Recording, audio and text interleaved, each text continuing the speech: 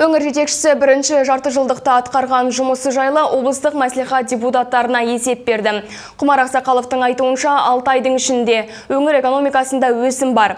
Атап айтқанда құрылыс жұмыстарының көлемі 1,7 есеге артыпты. Шетелдерден тасылатын тауарлардың үлесі 10%ке қысқартылып, керісінше экспорт мөлшері 1,3 есеге жоғарылаған. Сондай Құмар сессия барысында жоспарлармен бөлісті.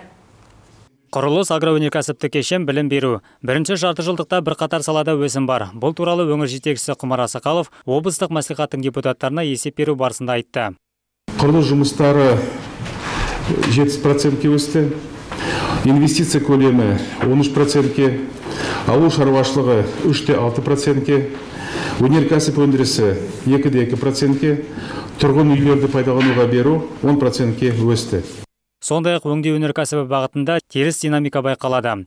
Құмар Асақаловтың сөзінше, жекелеген машина жасау зауыттарында өндіріс қуаттылығы 50%-ке дейін төмендеп кеткен. Салдарынан жергілікті бюджетке 700 миллион теңге түспей қалған. Кәсіпорындардың жұмысын жандандыру мақсатында Петропавл ауыр машина жасау зауытына және Киров зауытына 3,3 миллиард теңге бөлінетін болды. Сондай-ақ өңірімізге шетелдің қаржысын тарту шаралары қарқынды жүргізілуде. Жыл басынан шетелдік инвесторлармен құны 100 миллиард теңгенің 10 меморандумын жасастық. Алдағы уақытта өңір зауыттарында жүк вагондары, трансформаторлар құрастырыла бастайды. Жоспарымыз ойдағыдай орындалса 2000 тұрақты жұмыс орны құрылады. Білім саласына да ерекше назар аударылған. Келесі жылы облыстағы 120 мектеп күрделі жөндеуден өткізілмек. Бүгінде денсаулық сақтау ұйымдарының ғимараттары да әбден ескірген. Құмар Ақсақалов бұл мәселені көп бейінді аурухана ашу арқылы шешуге болады деді. Облыс әкімінің бұл бастамасын өңір депутаттары қызу қолдады.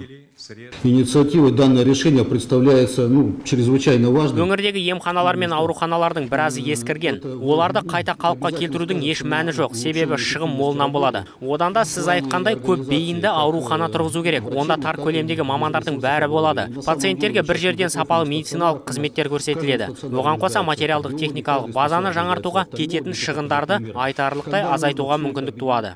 Денсаулық сақтау саласында 250 маман тапшы. Дәрігерлер көбінесе қала емханаларына жетіспей жатыр. Ал аудандарға дәрігерлерді тарту үшін биыл алғаш рет облыс бюджетінен 75 миллион теңге бөлініпті.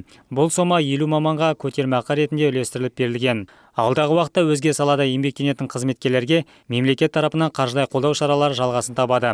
Мамандарды елді мекенге тарту жұмыстарына кәсіпкерлер де атсалыспақ. Нақтырақ айтқанда үйлер тұрғызып жас мамандарды ынталандырмақ. Құмар ақсақалов ауылды жерлерде жолдарды салу және таза ауыз сумен қамту көрсеткіштерін жақсарту бағытындағы шаралар одан әрі жалғасатын болады деді. Берік қасен рустам тілеужанов муниципалдық телеарна.